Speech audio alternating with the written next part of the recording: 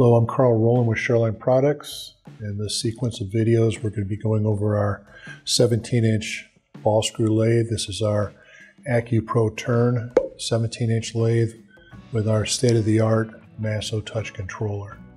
So when you receive your machine, once you get your cabling set up, it'll be like this.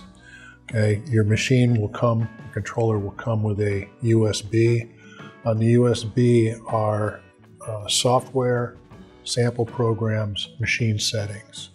So all you do is you put it in the USB outlet under the controller.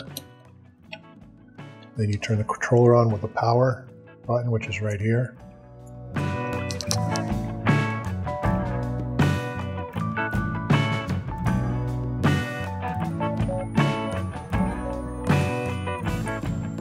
Okay, when it turns on, you'll have to hit your e-stop, push your e-stop in, and then turn it off and your e-stop will stop will stop flashing red. Okay, the first thing you want to do, all your all of your settings should already be in the machine at this point and your software loaded when you get it.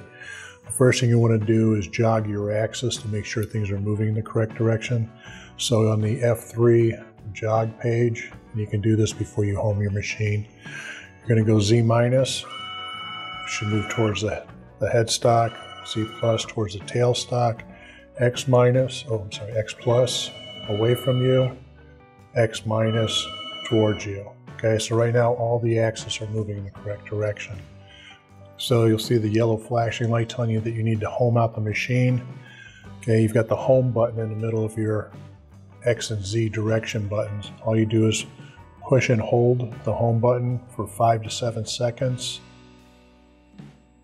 and let go and your machine homes out on the z-axis first and then homes out on the x-axis. So right now it's homing correctly. Uh, if it wasn't homing correctly or some other problems, we'll get into that later along with loading software and other things. So right now, what I want to do is jog my axis down. In the jog, you have continuous mode, which these machines will go 70 inches a minute, so it jogs pretty fast.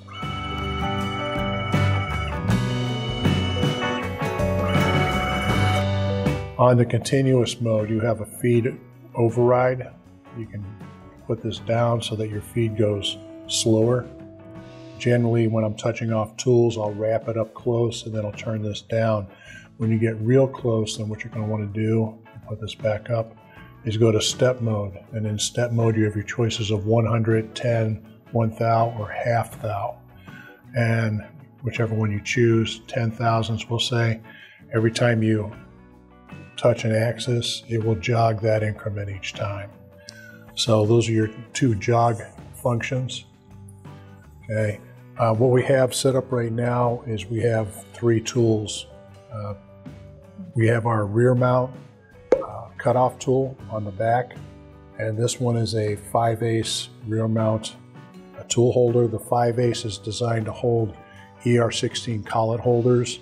It will also, uh, also this can be mounted this way, or you can also mount it uh, parallel with your axis and use your 5 ace holes. We also have our WW collet holder. Uh, our WW collets go from 0.3 11 thousandths to 5 sixteenths, 8 millimeter size. So if you're holding really small drill bits, you might decide to go with a collet holder over a chuck. The uh, standard holders we have have a 3 ace hole in them. They're designed to hold all of our 3 ace tooling, our boring bars, um, the shanks on our, on our, our drill chucks, and, and other accessories that we sell. I generally set up with a machine like this where the cutoff is on the back, and then you'll either have uh, drilling, turning, whatever you need for the operation you're going to run. So on this machine, we have a cutoff, which I also end up using as a hard stop to feed stock through if, I, if I'm using a collet. Um, this boring bar is set up with the insert facing down so that I can use it as a, a, a roughing turning tool. If I had to insert um, facing straight up and it was a uh, left-hand tool, then I would be able to do boring with it. And we have an 80 degree uh, insert turning tool. So these are the three tools just as a, a sampling that we're going to go through in the video. We have our uh, two and a half inch three jaw chuck on the spindle. So what I'm going to do is step through touching off your tool, uh, calling up programs and some other things here.